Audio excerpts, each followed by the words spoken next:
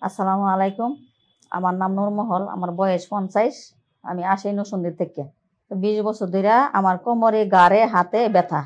এই ব্যথার জন্য আমি কিছু করতাম, পারতাম না। চলাফেরা হাঁটাফাটি করতাম না, রান্না বাড়া করতাম না বৈশা থাকতাম না শুয়া তখন লাগতো দাঁড়াই থাকতাম দাঁড়াই থাকতাম না। এই ব্যথার জন্য আমি আস- আসছি।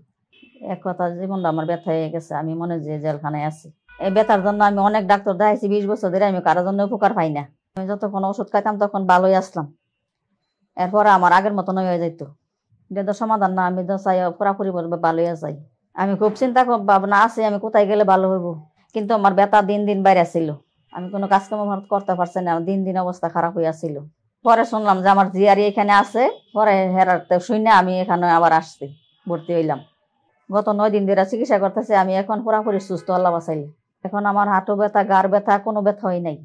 এখন আমি হাঁটতে পারি, নামাজ পড়তারি চলাফেরা সবই কিছু করতে পারি আল্লাহ বাঁচাইলে আমার কাছে মনে হইতেছে বাড়িতে গিয়া চলাফেরা সবই কিছু কাজকর্ম করতে পারব। এখানে আমাদের দ্বারা চিকিৎসা করছে হ্যাঁ সবাই ভালো। আমাদের আয় পেশার নাই পানিছে জিজ্ঞাসা করছে খানা দানা যে খাইছে নি ভালো আছে নি চলাফেরা করছে নি জিজ্ঞাসা করছে। আমাদের মতন এমন রোগী যদি থাকে, তাহেন স্যার রায়সা দেখা করেন, তো ভালো হয়ে যাবেন। আমার জন্য দোয়া করবেন, আমি যেন ভালো থাকি। আসসালামু আলাইকুম। ডিপিয়ার্স লিমিটেড আস্থা বিশ্বাস ও নির্ভরতায় অবিচল।